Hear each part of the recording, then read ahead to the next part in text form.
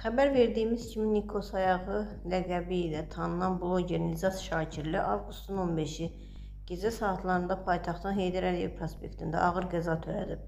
Qaynar info xəbər verir ki, sağ qolu amputasiya olunan blogerin qəzadan sonra xəstəxanadan ilk fotosu yayılıb. Həmin fotonu təqdim etdik.